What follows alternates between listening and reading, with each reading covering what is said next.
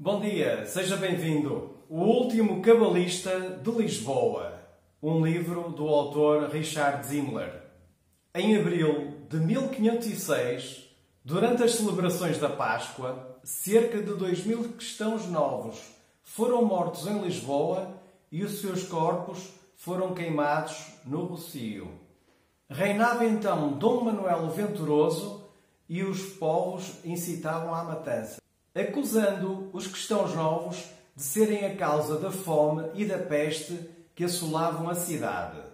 Berequias, o sobrinho e discípulo de Abrão Zarco, iluminador e membro da respeitada Escola Cabalística de Lisboa, vai encontrar o tio e uma jovem desconhecida mortos na cave, que servia de templo desde que a sinagoga fora encerrada pelos cristãos velhos.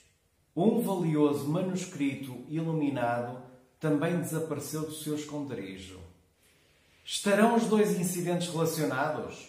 Terá sido um judeu ou um cristão, como os indícios fazem crer, a assassinar o seu tio? Quem será a rapariga morta? Publicado originalmente em Portugal, O Último Cabalista de Lisboa, é um extraordinário romance histórico que catapultou o seu autor para o sucesso internacional, tendo sido publicado em toda a Europa, Estados Unidos e Brasil.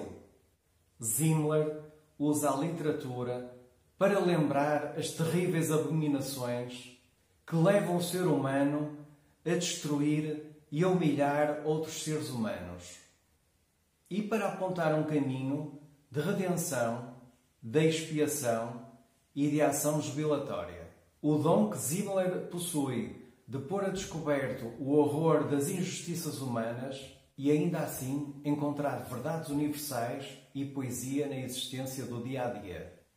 Faz dos seus livros uma leitura indispensável.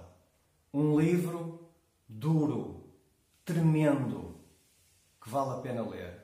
Para além da violência que foi aquela matança de dois mil cristãos novos no Rocio, Naquela Páscoa de 1506, sente-se o medo, a desconfiança, a suspeita, o cheiro do lixo.